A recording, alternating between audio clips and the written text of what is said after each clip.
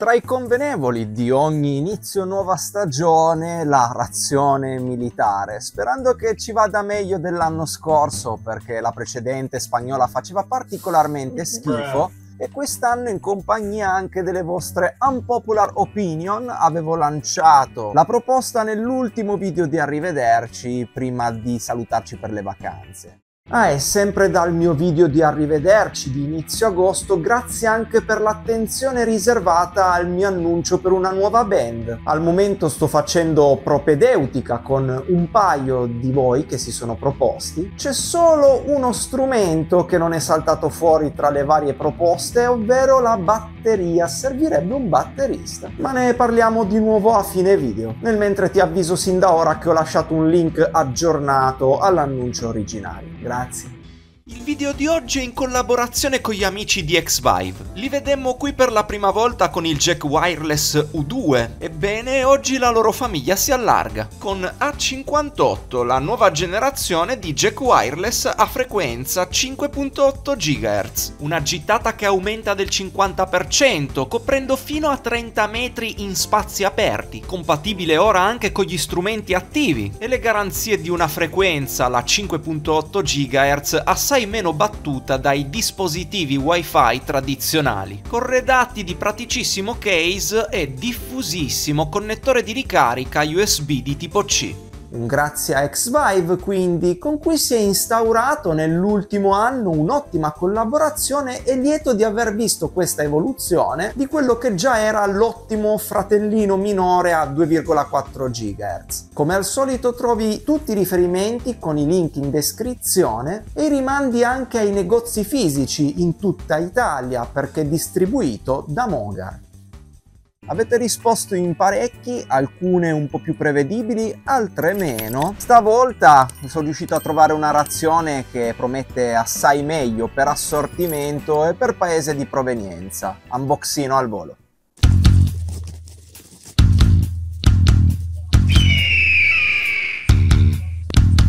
Immancabile anche quest'anno la scrittrice a cui facciamo assolutamente scegliere quale vuole dei due. È dura, eh? Bistacco filling oppure chili e macaroni. Mm, io da brava italiana moderna che non mangia mai la pasta all'estero preferisco questo, evitare i macaroni. Ne hanno tipo una ventina diversi, ce n'era uno che era troppo vincer facile con la pizza, sono andato a impelagarmi con quelli un po' più caratteristici. Mm. Apriamo, vediamo un po' belli carichi. Speriamo soprattutto che si possano cuocere in una maniera più intuitiva a confronto al baracchino che ti danno gli spagnoli. Allora, bella indaffarata qua la faccenda. Mi sa che questo si mette a bollire con qualche soluzione chimica sullo stile di quella polacca che fu la prima che portai in assoluto nel canale. Diamo una mano alla scrittrice che si è incartata già. Vedi che qua c'è tipo un taglietto al volo. Adesso, provate a tirare lì. Ah, vedi che è la scrittrice, no? Che alla scrittrice danno sempre la cosa più difficile da fare, così poi passa per imbranatina. I dischi doppi, alla Tales from Topographic Oceans degli Yes, sono invecchiati come il latte, quest'ultimo peggio di tutti. Fatto sta che non è un mistero che questo formato sia caduto in disuso. Sì, è così alla luce del sole che anziché di unpopular opinion parlerei di dato di fatto. E francamente non guardo con amarezza alla morte dei doppi album perché mi sono sempre stati sul cazzo, sin dall'adolescenza. Ok che l'arte è importante, ma anche il mio tempo è importante. E se vai oltre un'ora mi sento sempre più mancato di rispetto come ascoltatore. Va da sé che davanti a certi capolavori uno deve per forza passare. E grande eccezione va fatta per qualsiasi escursione nella musica classica, quello è proprio un altro mondo con altri criteri. Ma se di proposito, da dieci anni a questa parte, ti butti nei doppi album, beh, allora sei proprio uno stronzo. I Pooh sono una delle cose più rock and roll che la musica italiana abbia mai avuto. Red Canzian e Stefano Dorazio sono pesantemente sottovalutati come musicisti. Ascoltare gli album Rotolando Respirando, Tropico del Nord o Dove comincia il sole per avere prova di quello che dico. Cazzata colossale e prima di risponderti ho voluto accertarmene di nuovo, sentendo anche il loro periodo Aur che effettivamente mi mancava, quindi ho sentito Tropico del Nord e rotolando respirando, trovando anche lì solo ulteriori conferme. I Pooh hanno affrontato sì generi nobili, ma portandosi dietro sempre le influenze peggiori, ovvero quel gusto populista da italietta di provincia che prevede il cantato sopra sopra ogni cosa, la monarchia assoluta della melodia e dei testi innocui per arrivare a chiunque, preferibilmente fino a tua nonna. Tutta la loro musica è sempre stata subordinata al buon cuore, alla tenerezza, anche un po' al pietismo cristiano. E qualsiasi momento compositivamente più spigliato è sempre soffocato da questa consapevolezza di fondo che è Ehi, mi raccomando ragazzi, viva l'amore, abbasso la droga, donate sempre un sorriso ai vostri vicini quando uscite di casa. Non dite mai di no a un bel bicchiere di aranciata. Fate contenta vostra madre e mettetevi la camicia perché vi vuole bene. Morire subito, bombe atomiche, distruzione del pianeta! E vi dirò di più, a parte l'Aor, da cui ne escono come in una barzelletta, ma pure parlando di quel progressive pop di Parsifal, ad esempio, e il progressive pop tendo a considerarlo un genere a sé, beh, sapete cosa vi dico? Che come genere va benissimo, un giorno farò un dischini dedicato al progressive liked, che ha una grande dignità, ma in Italia ci furono esempi migliori anche di quell'anfratto e rispondo a un Parsifal con Suite per una donna assolutamente relativa dei Dick Dick, delizioso, e il semi sconosciuto Il grande gioco degli Albero Motore, entrambi superiori a un Parsifal o a un, un po' del nostro tempo migliore. Sulle capacità tecniche di Do di Battaglia e Red Kanzian non vado neanche a impelagarmi più di tanto. Perché quando sei subordinato a quel regime totalitario del canterino a ogni costo, emergi fino a un certo punto e stare lì ad aspettare il momento in cui possono mostrare i muscoli è una perdita di tempo. Teneteveli pure i pu. Ok, dopo due minuti di riflessione abbiamo più o meno capito il meccanismo. Sì, è come quelle polacche. Praticamente ti danno questa busta che ha questi agenti chimici che scaldano, ci infili dentro la tua portata principale con dell'acqua e va a bollirla. È una specie bisogna... di reazione chimica. Iniziamo da quello della scrittrice a cui ha dato qualche colpo di forchetta in più del necessario. Bisognava aprirlo qua dall'alto e ora ci piazziamo dell'acqua e poi ci infiliamo dentro, direi tutte e due le, tue buste. pietanze per poi dopo adagiarle su un piatto.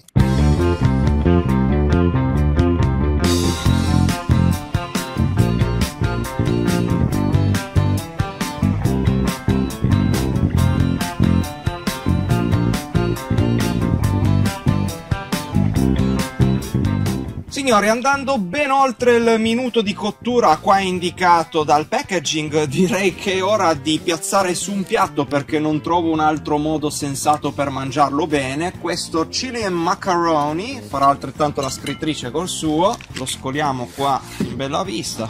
Che merdone! Eh, beh dai, un gusto tipicamente americano che fa inorridire qua gli italiani. Minchia, c'hai le tortillas, Hai c'hai, non l'avevo vista. Stai cercando di sottrarmi questa box. Ma che spettacolo. Che vuoi tu hai la pasta, macaroni. Arriviamo quindi a questi favolosi primi, per la scrittrice mi sembra più un pasto completo. San Bernardo, e eh, l'acqua ce la dobbiamo mettere noi. Buon app! Premesso che me l'ha scaldato poco, certo entro dei gusti molto più tamarri da americani, questo senza ombra di dubbio. Approccio un po' alla messicana, del resto essendo chili, concentratissimo di sugo, leggermente piccante, Comunque non è male, il sapore di messicano col pumino. Eh, il mio è un Tex-Mex, è un'unione mm. tra i popoli il mio. Sì. Ma va ammesso qua ha vinto la scrittrice, quanto fanno gola sti tacos per quanto sugosi siano. Si parte alla grande, questo deve essere chiaro. Ottimo, andiamo avanti con qualche altra vostra unpopular opinion. Io sono l'uomo delle unpopular opinions, ma ne metterò una sola. Il progressive metal fa vomitare e piace solo a chi lo suona o a chi si fa le seghe per la tecnica. Ciao Gabriel!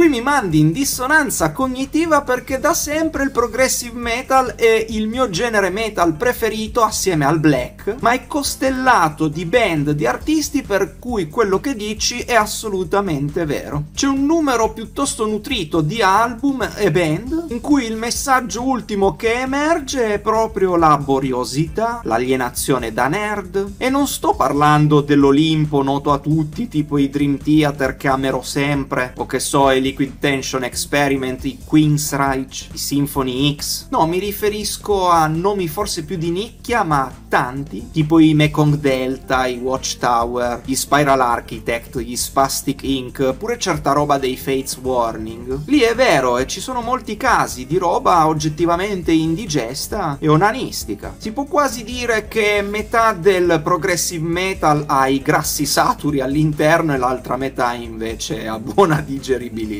Mi sento di chiuderla dicendo che è un genere molto eterogeneo a livello qualitativo, fatto di capolavori e di paccate in montagne russe come in pochi altri generi capita. Questo, sebbene io lo ami, è vero. Trovo ingiustificato molto dell'odio che viene lanciato verso i Nickelback, molte volte semplicemente per partito preso, soprattutto per il periodo di All the Right Reasons. Sono lontani dall'essere la mia band preferita, ma sempre meglio di gente come i Five Finger Death Punch. Vero, verissimo. Figurati che ho in programma per questa stagione un dischini post-grunge e dovrò far loro una menzione a parte, fuori classifica, perché hanno una reputazione ingombrante. Ben inteso, i Nickelback non sarebbero stati in nessun caso nel podio del post-grunge, ma sono stati vittime come pochi dell'internet e il bullismo nei loro confronti ha lontane radici, che poi si sono però calcificate e hanno fatto perdere di ogni oggettività la percezione nei loro confronti. Qualche mese fa Danny Metal, i più lo conosceranno, ha fatto un bel video sui Nickelback che vi consiglio e in cui emergono le cause di quel bullismo, di quel memismo sconfinato. I Nickelback come il Comic Sans, come Internet Explorer 6, come le Crocs, vi ricordate? E pare che iniziò tutto a inizio anni 2000 era un periodo in cui erano così in heavy rotation nelle radio americane da portare alla nausea, suscitando delle battute al vetriolo di un comico famoso allora, arrivate nel momento di apice e che creò quel clamoroso effetto domino sull'onda di quella saturazione mediatica. Poi il frontman con gli anni ci ha messo un po' del suo, fu accusato di misoginia, di macismo becero, forse proprio portato all'esasperazione da questa pressione mediatica, probabile, ma è indubbio che diventarono soprattutto dieci anni fa dei zimbelli dell'internet e che si sia trattato di un bullismo non così distante come fenomenologia da quello che subì Richard Benson qua in Italia. Ti confermo che Silver Side Up è un disco quantomeno onesto, il resto non sono andato ad approfondirlo più di tanto e che nel post grunge c'è ben di peggio dei Nickelback. Mi vengono in mente i Live, i Creed o i Breaking Benjamin. Hai ragionissimo. Signori, per me è ottimo primo, passo a un vero e proprio secondo che ho, o almeno così mi è parso, dei cracker è una cosa che più americana non si può, un attimino. Vegetable cracker, fin qua ci siamo, ok.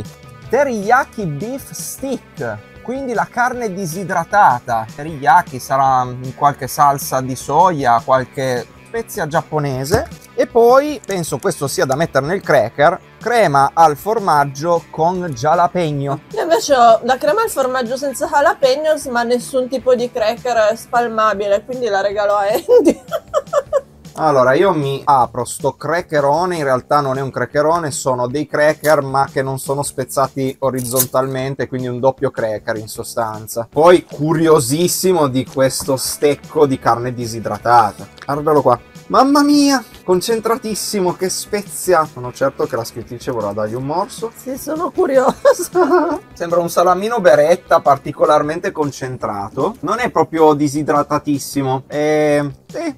Oh, della consistenza proprio dei salamini. Né più né meno. Sì, ma il sapore è strano, non lo trovo tanto buono, vedi tu. Eh, vedo che ci spingono tanto qua di salsa di soia. Eh, ma non sa né di salamino, né di teriyaki, né di salsa di soia. È un Ah. po' proprio artificiale America. Sa di chimicanza Eh, in sì. sostanza. Ugh. Sembra marmellata. Eh, Sembra una, un ce- una sottilità di cheddar fusa e risolidificata. Sì, Sono siamo- contenta di non aver aperto il mio. livelli di ignoranza colossale. Vediamo se riesco a fare. Oh, porca troia. Si è sminchiato tutto. Puttana la. A few minutes later. È tipo un cheddar stile McDonald's, piccante perché c'è il jalapeno, particolarmente salato. Di tutta la roba è particolarmente sordido da riconoscere. Non che faccia schifo, ma senti che nel Nutri-Score è a livello Z probabilmente. ah, ma devo dirvi anche del teriyaki beef.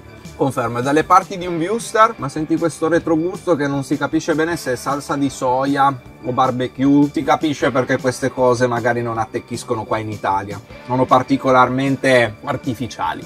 Altre vostre unpopular opinion. Pino Daniele è il miglior chitarrista. Miglior chitarrista nella fattispecie nell'Italia degli anni 70? Ma anche no. Luigi Venegoni, Nico Di Palo, Alberto Radius, Franco Mussida per parlare solo di suoi coetanei. Pino Daniele va ricordato in un'altra dimensione, ovvero per essere stato un grande, e questo non glielo toglie nessuno, compositore. Del resto nel suo ecosistema il cantato ha sempre avuto la precedenza sulla chitarra e va ricordato anche per la sua grande visione di insieme e di arrangiamento dei brani, quando magari altri chitarristi erano focalizzati solo sul proprio strumento e basta. Va altresì ricordato per essere stato uno dei più grandi e nobili cantautori italiani e per l'assoluta onestà nell'aver spinto così tanto le sue radici, ovvero Napoli, al punto da poterla esportare all'estero quella città contro ogni aspettativa. Quindi, un grande cantautore, un rispettato jazzista e, un po' dopo, un consapevole chitarrista.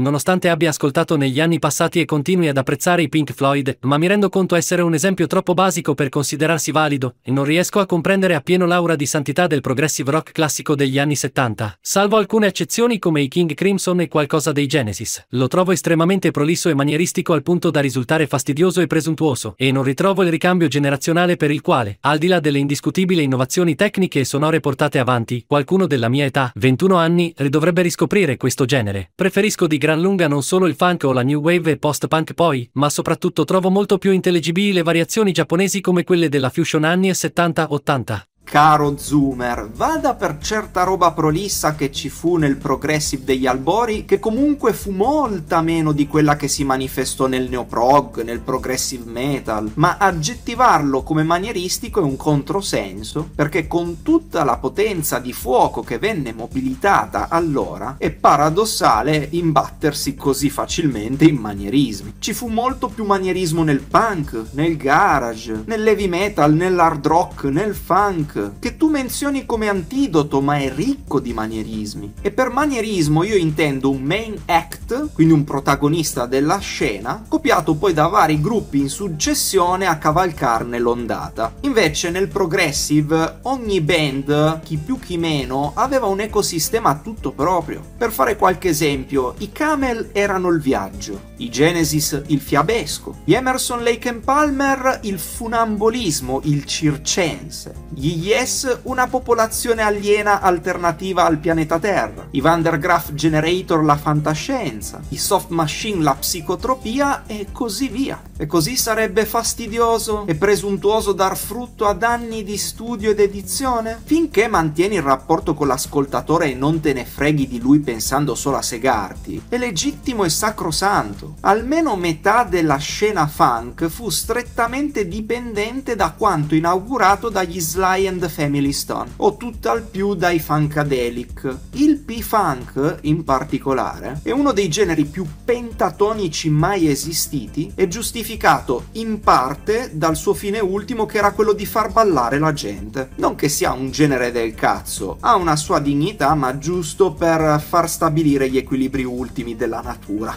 Vada per il post-punk che è un genere molto eclettico, ma se parliamo di New Wave ad esempio si arrivò al mainstream creando preso tutto il manierismo che vuoi. A una certa era New Wave persino la Rettore, Ivan Cattaneo, Patti Bravo, quindi insomma là. La fusion giapponese sì, è uno dei massimi esempi di tecnica votata alla digeribilità, giusto? Ma proprio a partire da lei si può ben cogliere quanto il progressive sapesse, nella maggior parte dei casi, prendere per mano l'ascoltatore. Non dico sempre, ma quando ci riusciva, con gli intenti più nobili di tutti. Precludersi una così importante fetta di musica del Novecento è come studiare storia e far finta che il Settecento e la rivoluzione dell'illuminismo non siano mai esistiti. Comunque per quanto riguarda il mio, prima di arrivare ai dolci, dopo gli schiaffi, la carezza. Con questo Orange Beverage Powder, quindi un succo d'arancia liofilizzato, in cui la vitamina C sarà sicuramente un miraggio. Anch'io, ma la mia non so perché è piccola. Beverage Base Orange. Quindi la tua è tipo la Vichy che la metti direttamente nel bicchiere. Sì. Invece questo è il mio di bicchiere, che correggeremo con della San Bernardo. Aiuto! Una cosa è certa riguardando i loro complementi, non mi viene in mente un piatto in cui si poteva utilizzare il sale perché era già tutto salatissimo di suo. Sento già l'odore di Powerade da qui. Sì, a Guarda che colore. È letteralmente i Gatorade, però la variante, quella un po' più discount che negli anni 90 era Energade. O Powerade. Powerade era migliore di faccia Sì? di prezzo, aveva un ottimo assortimento, aveva anche i gusti glaciali. L'Energade invece era più da discount. Il mio è Energade. Con questa carezza di salute passiamo ad altre vostre unpopular opinion.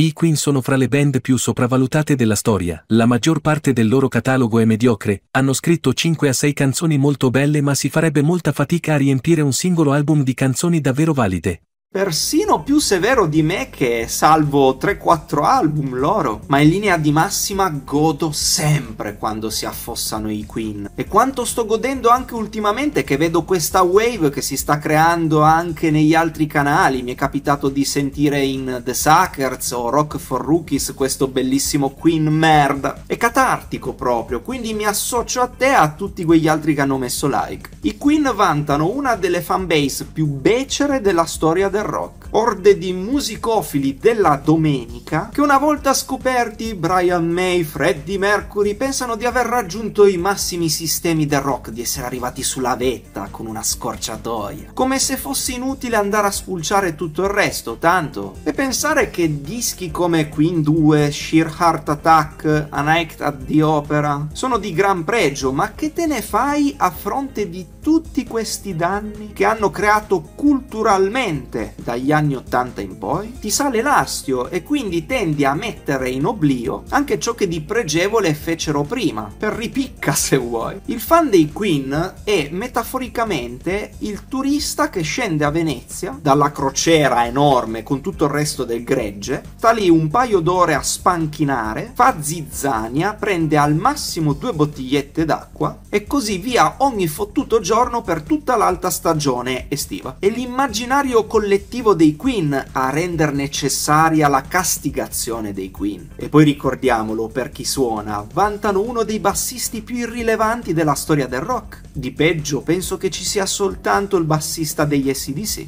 Anche i Pink Floyd soffrono un bel po' di questa gentrificazione, di questa sovraesposizione mediatica che porta allo sputtanamento. Ma questa è un'altra storia e comunque ne soffrono un poco meno dei Queen, che invece ne sono l'apoteosi totale. Come quando anche a Barcellona fanno le manifestazioni per mandare via i turisti. Onore a tutti i follower che hanno fatto svettare a suon di like questa unpopular opinion in cima tra i commenti. Bravi tutti. Non ho mai stimato gli U2, né tecnicamente né dal punto di vista compositivo. Beh, oddio, gli U2 sono impossibili da stimare tecnicamente perché vantano uno dei chitarristi più paraculi della storia della chitarra, ovvero The Age, che ha fatto una carriera sul delay così massiccio, così marcato, da coprire qualsiasi possibile sbavatura. Non so se qualcuno aveva visto quel documentario uscito, eh, ormai 15 anni fa, It Might Get Loud, in cui intervistano The Age, Jack White, Jimmy Page, e The Age ne usciva veramente piccolo. Premesso ciò, ciò, gli U2 hanno fatto degli album assolutamente onesti, questo devo ammetterlo, quali il primo Boy, poi War, che è veramente delizioso, e sta qui la beffa, perché oggettivamente partì come gruppo rispettabilissimo. Una mia unpopular opinion, compositivamente furono superiori agli Smiths, ad esempio, ma sputtanati negli anni totalmente dall'impegno politico, in particolar modo da Bono, il più grande radical chic della storia del rock, anzi secondo, il più grande radical chic alla prima posizione è Bob Geldof, il più grande esempio di come politica e musica siano un connubio infido e che può portare a rendere intere carriere stucchevoli e moraliste. Non è nemmeno questione delle cause a cui si è dedicato, tutte sacrosante grazie al cazzo, la fame nel mondo in particolar modo, l'AIDS in Africa, ma a livello di forzatura che ha dato alla sua carriera artistica in favore dell'influenza politica. Per questo motivo, a me, penso a molti altri, hanno rotto il cazzo e non è un caso che siano un cavallo di battaglia di Virgin Radio. E sapete cosa dovete fare voi che ascoltate Virgin Radio, vero? Signori, arriviamo al gran finale, arriviamo al dolce. Nel mio caso è un lemon poppy seed pound cake, quindi torta con semi di limone. Lemon poppy? Eh. Limone e semi di papavero, no? Ah, poppy seed. Ok, poppy e papavero, pardon. Io invece ho una specie di muesli con dischetti di cioccolato. Ma che carino! Un tortino? Eh. Cosa gli puoi dire di male? Sembra un plum cake schiacciato, fatto a disco. Ma Guardate che... le mie, sono frutta secca, uvetta e tipo Smarties o M&M's. Ma che carino! Scusa, è meglio qua? Sì, carinissimo. Questo è buono. No, spettacolo questa. Questa è veramente ottima perché va di audacia a mettere più zucchero di quanto ne è solito mettere il marchio italiano. Quindi confronta un plum cake come siete abituati, mettici un 30% di zucchero in più, salubre? No, efficace? Cazzo sì. Ma mi sa che qua hai vinto te. Eh. Quel mix M&M's, noci, noccioline, arachidi, veramente spettacolo, uvetta. Questo è proprio buono. La fusion è il genere musicale scacciafiga per eccellenza. Mmm, mmm, vero soltanto per metà secondo me. C'è una dissonanza cognitiva nei confronti della fusion soprattutto da parte delle donne. Anatomicamente hai ragione, è un genere che soprattutto in America ha tirato fuori roba molto boriosa, ma se guardiamo l'albero genealogico è pur sempre un figlio del jazz e una donna tendenzialmente guarda con fascino al jazz. La vita notturna, l'astrazione, la scapigliatura. La fusion giapponese poi è molto piacciona, l'abbiamo imparato. Quindi secondo me ti riferivi alla fusion più accademica quando non sfocia addirittura nello shredding, ma quella solitamente è meno percepita dalla donna casual, che magari pensa a delle diramazioni più smooth jazz o alle giapponesate che dicevo, ma continua a fare il red pillato rispondendo con alcuni generi inequivocabilmente scacciafiga. a ogni livello e a ogni latitudine. Il neoprog, il power metal, il kraut, shredding, progressive italiano, vietato scopare. Un tempo era incel a manetta proprio anche il black metal, ma da una decina d'anni, per motivi misteriosi, non è più così.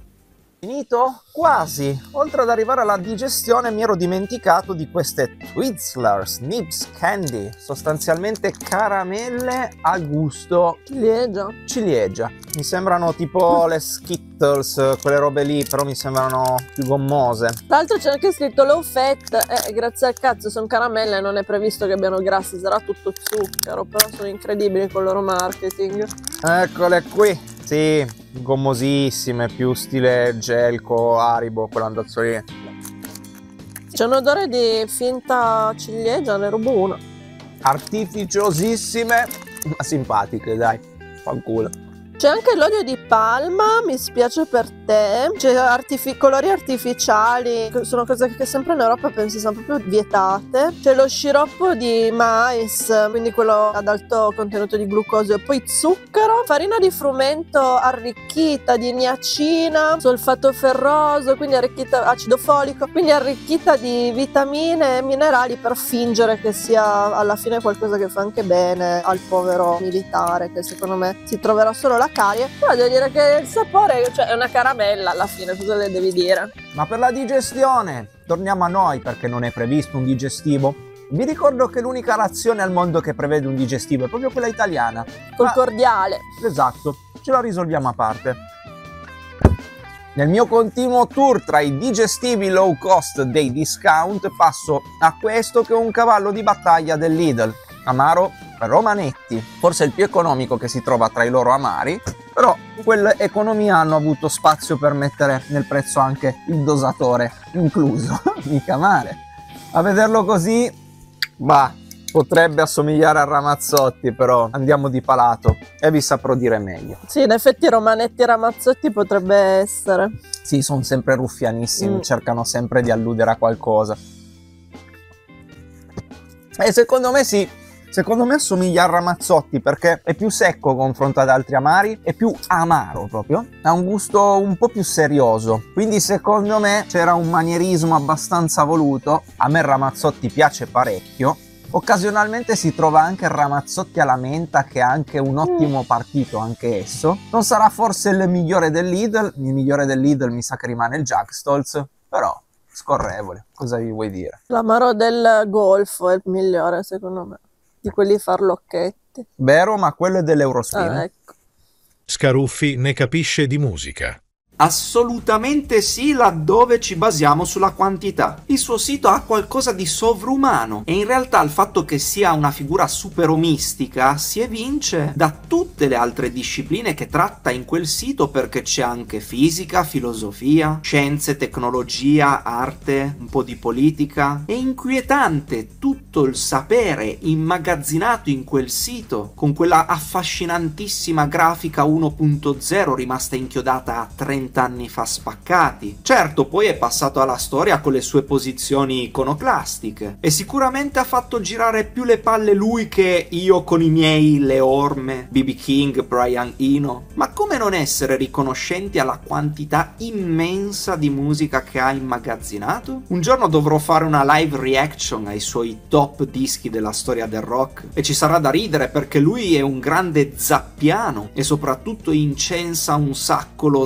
slowcore che è uno dei generi che più mi fan cagare di sempre. Però massima riverenza nei suoi confronti devo ammetterlo. L'unico che sa più di skinny di Andy Cale e che mai riuscirò a equiparare Signori, siamo arrivati alla fine di questa razione militare. Ringraziando la scrittrice per la gentile partecipazione, direi che questa si piazza comunque bene al di là dei valori nutrizionali e al di là della dieta insalubre. Io la metto, penso, seconda in tutte quelle che abbiamo provato a inizio di queste stagioni. Prima mi ricordo soltanto la polacca che è in grado di spodestare la americana dal podio. Io forse la metto prima perché la polacca mi ricordo che mi era piaciuta, ma ormai l'ho rimossa, non mi ricordo più cosa c'era, di cosa sapeva. Questa devo dire è stata molto soddisfacente, quindi potrebbe anche andare al primo posto. Sono passati un po' di anni, in effetti l'importante è che non prendiate quelle spagnole che Mm. invece fanno oggettivamente cagare. E con oggi siamo arrivati alla fine. Prima di chiudere dicevo all'inizio, quindi servirebbe ancora un batterista. Le porte sono aperte e la situazione si fa un pochino più trattabile. Sì, perché stabilita una presenza web e un'attività video con altri due componenti, anche se avrai una parte un po' meno attiva nel videomaking, e sappiamo come sono fatti i batteristi uomini di mondo, beh, potrebbe andare bene lo stesso. Però minchia, mi auguro che almeno un banale profilo Instagram ce l'avrai comunque. I contatti sono sempre gli stessi, ovvero Instagram oppure la mail. Trovi poi il link qua sotto con l'annuncio aggiornato su misura del batterista che rimane da cercare.